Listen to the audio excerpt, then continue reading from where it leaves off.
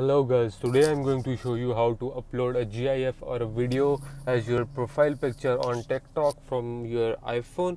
So you just have to make sure that your TikTok app is updated to the latest version. Just go to the App Store and check if your TikTok is updated or not to the latest version.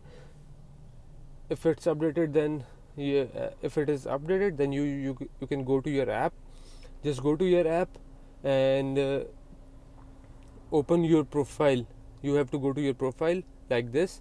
And you, as you can see there's an edit profile option. You just have to go to your edit profile option and then there you can see there are two other options a change photo option and change video option. Change photo option is for uh, if you want to put a photo to your profile and change video is an option for where you can put your video or a gif as a your profile picture on TikTok. So you will have to click change video option. Now you can click the change video option. And as you can see you can you will go to your gallery. Any video you want to put on your profile you you will have to just click it and then just click the save button.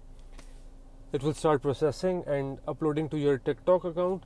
So this is how you can upload your video or a GIF on your uh, account on TikTok from your iPhone I hope you found the problem to your solution to your problem. And I hope you liked the video. Kindly like the video and subscribe the channel. Thank you so much